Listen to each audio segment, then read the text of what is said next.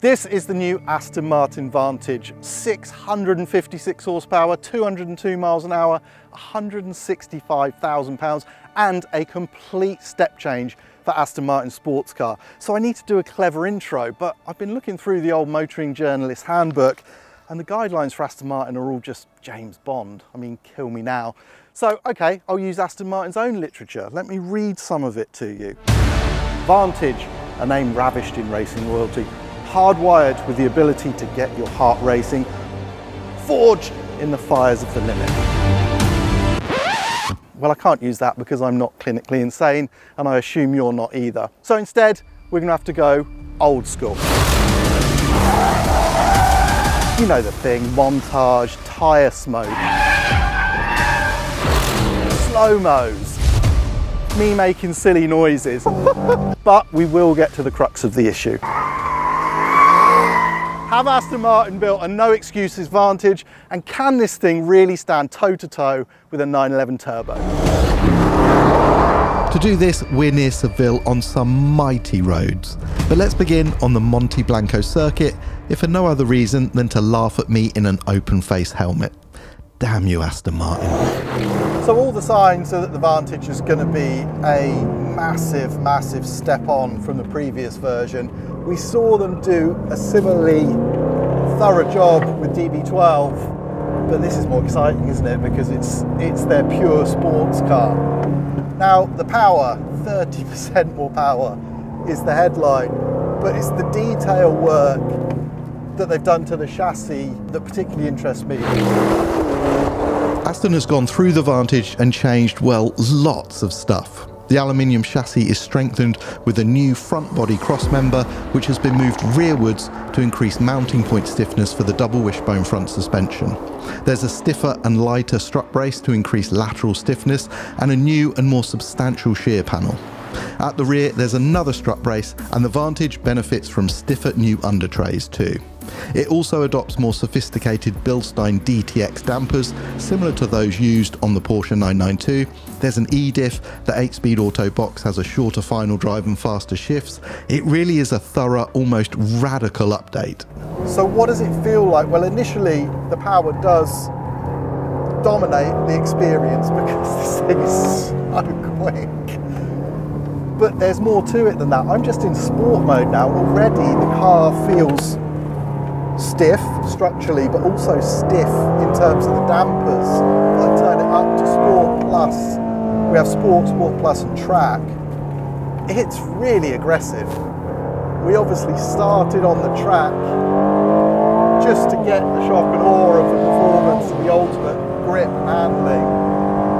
And you can tell it's a much more aggressive proposition than the old one. Of course, they can't completely defy physics. You know it's quite a chunky car, but the flip side is the balance is really good. I've still got the traction control activated, but it's already showing me that front engine rear drive balance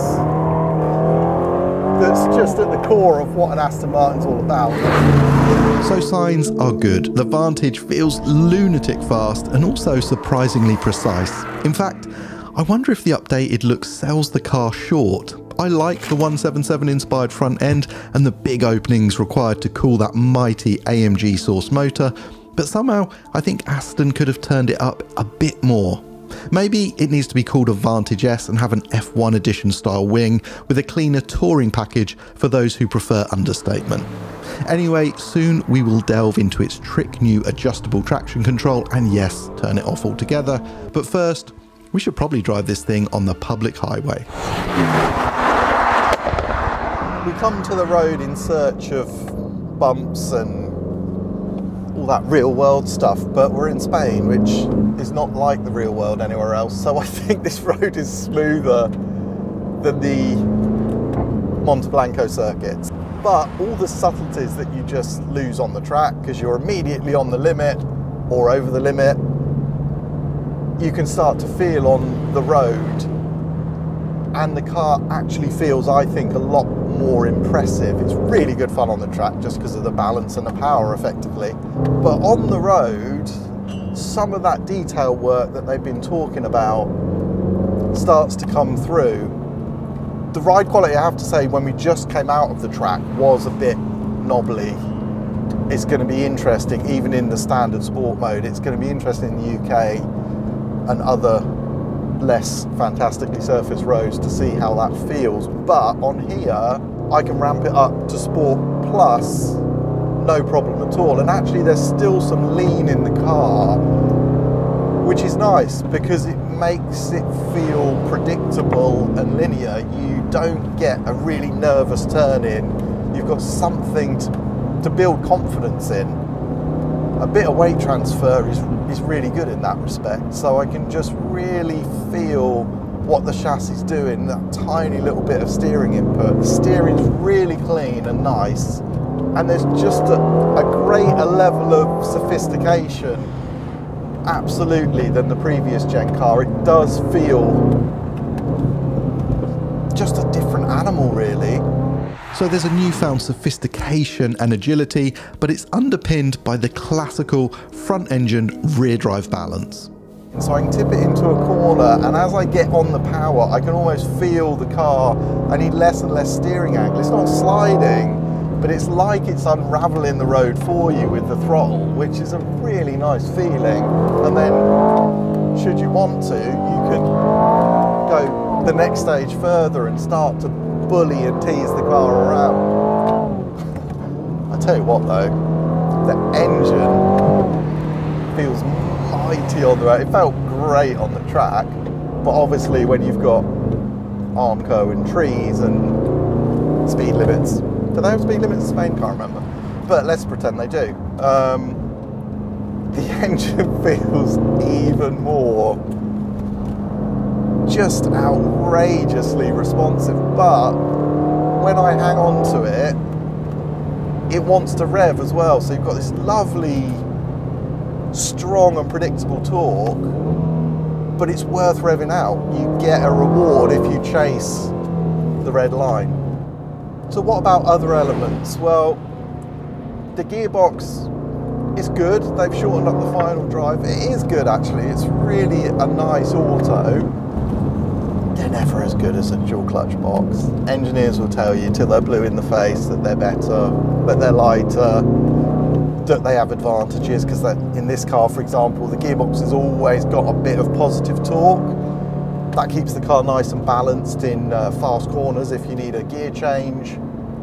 I understand all that, but you don't get bang, the snap and the response and the feeling of specialness that are really good dual clutch box will bring you.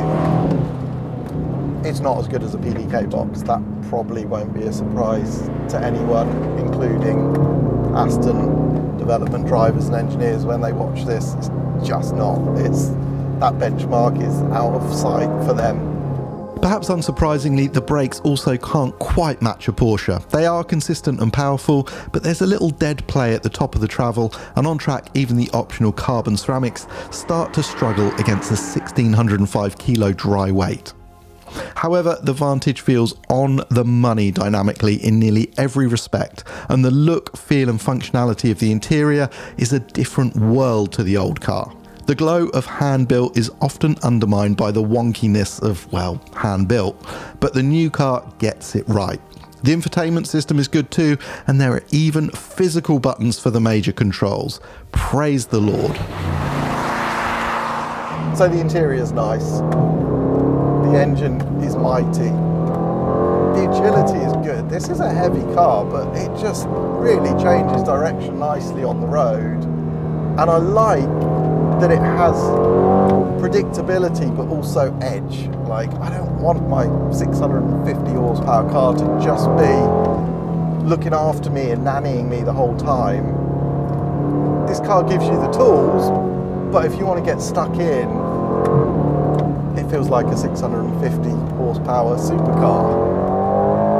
And under power, the rear axle will start to hop under full noise it's impressive. It's more impressive on the road than the track, and it's fun on the track. Speaking of fun, there is one new feature I'd like to explore a bit more. So we've started to explore some of the technology in this car, and it really is a leap on from the old version. But there is one thing that I really want to check, and that is the adaptive traction control. We've seen systems like this before from BMW, McLaren, Ferrari even, but I want to see how it works on this. Effectively, you turn off the ESP and then you can dial up and down the traction control to build the angle as you go along. As it happens, we have this rather lovely racetrack to ourselves, and we're going to use this corner, third gear, we're going to start off low, build up to uh, number eight, which is the very most lenient setting, and see just how good it is. I will pretend to be a really, really terrible driver, because obviously I'm brilliant, um, and see if it works. The system defaults to position 5 when you deactivate stability control, but will start at level 1. Let's try it. Third gear.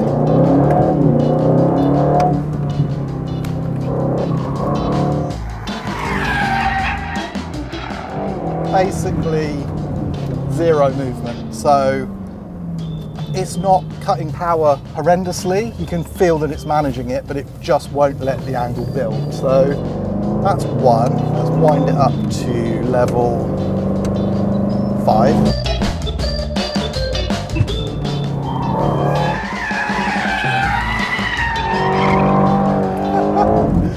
That's actually pretty clever. So it doesn't really want you to pitch it in, but once you get the tail moving with power, you can commit to the throttle and it just sort of holds the angle. That's, that's pretty impressive. Okay, next we're going to dial to 8.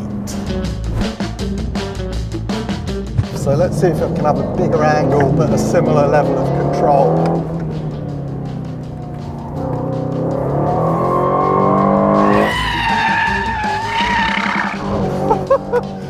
well, we have tyre smoke in level 8, so I would say that's a win. You would not want to try level 8 if you've never done this before, but as a tool to build up to, that's great. And obviously there's one more level, level 9, which we will now try, also known as off.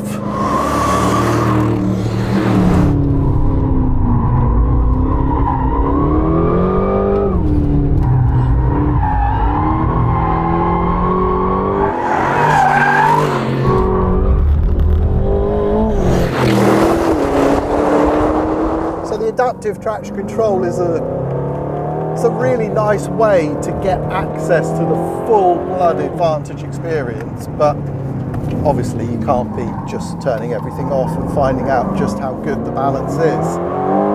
So let's do that, we've got plenty of power, it's a lovely track, and you can just turn this thing in on the brakes. And it slides beautifully and that talks a bit of the accuracy of the platform control that I've talked about before. The car just feels really smooth going over the limit of grip and then coming back, even in track mode, which I'm in now. So really stiff and aggressive, but the car is just easy to handle all the time. You've got this really cool character that the electronics give you support to enjoy and indulge in. And then you can turn it up to, well, it's nine, but you can turn it up to 11 when you've got the confidence and the space to just pitch it in and feel that natural balance. it's pretty sweet. Criticisms on the track, the the gear shift indicator is criminally small. It's actually pathetic. You can't see it at all. And that just seems ridiculous when you've got a car with this much potential. It is a heavy car, you can't get away from that. But overall, the entertainment and the indulgence, this is fourth gear.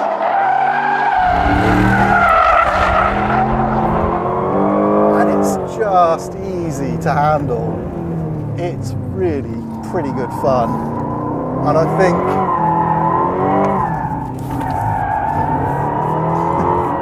yeah, I mean, they've done a lovely job just making sure this car is easy to handle, but has the character, the sort of lunatic, hairy chested character if you want it, but in this really controlled way. Is it a 911 Turbo? No, it's a different car altogether, and it doesn't have the 911 Turbo's unbelievable speed on a track uh, and doesn't feel as small, as light, and as accurate. But it's got its own character and it doesn't feel off the pace, which Aston have in the past felt a little off the pace. You're having to make a lot of sacrifice in order to have that badge. Well, now I think they realise that's not how you go about building a car that people want. It has to be right. And they've put in a great effort to do it, and the result is impressive. I like this thing, it's fun. So I have been really impressed by this Vantage on the track and on the road. It's got a really clear identity, sense of integrity, and this cohesiveness as well. It's just a really good fun thing. Now, is it faster than a 911 Turbo, as agile on the racetrack? Absolutely not. Can it cover ground as quickly on the road? Again, no. But I do think it's a Vantage that we don't need to make excuses for. Now, is it more fun than the 911 Turbo on the road? You know what, I think it might be. You can't really do much more than that.